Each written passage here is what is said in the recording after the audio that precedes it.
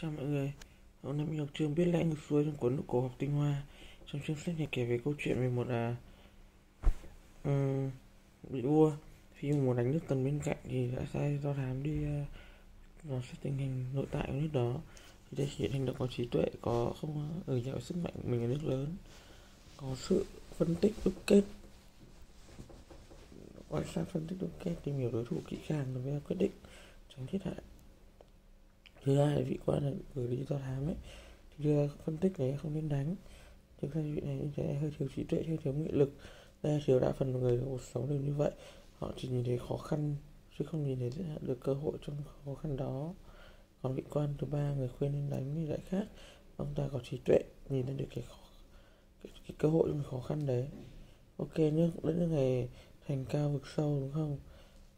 Nhưng mà làm một nước nhỏ mà tích lũy được nhiều như vậy quốc khổ lớn thì phải bóc lột dân chúng nhiều dân chúng sẽ không được hài lòng nếu đánh thì sẽ được. Từ câu nói nước này nước kia nước nhỏ thì họ biết vị thế nước họ nước lớn. Đó. Chúng ta có thể thấy được những cái ờ, vận hành ngầm của về câu chuyện là như vậy. Đa phần câu chuyện này mình chỉ nhìn được với góc trí tuệ của hai nhân vật và góc thiếu trí tuệ thiếu nghị lực của nhân vật uh, số 8 Nhìn đến trực tiếp công việc của chúng ta nhé. Hãy tưởng tượng đến việc mà chúng ta tìm hiểu đối thủ. Cũng đơn giản giống như việc chúng ta đi khảo sát. Thì à, các bạn chứng minh data ấy. Đi 10, 15 data các khu khác. À, Hoặc là đi data mẹ chỉ để tìm hiểu về đối thủ của mình Đang vận hành một cho thuê mức giá như thế nào.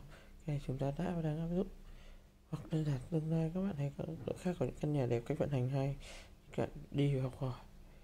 Thứ hai nữa đấy là khi mà đã đi học hỏi như vậy thì có những bạn sẽ bảo à bên mình trong thế giải cao quá anh em ơi giả giả đi là một năm trăm một phòng. Có những bạn bảo à, em lại thấy những cái phòng khác ờ, à, thuê thể rẻ hơn hoặc là chúng ta một nó không còn những cái tiện nghi không có cái sự setup đẹp. Thì là chúng ta tập trung vào sự tiện nghi setup đẹp thì tạo sự khác biệt. Đó đúc kết lại trong câu chuyện này thì mình thấy được là mọi vấn đề sự việc mình nhìn qua hai chiều cả khó khăn và tìm kiếm cơ hội trong nó. Cả tiêu cực và tích cực.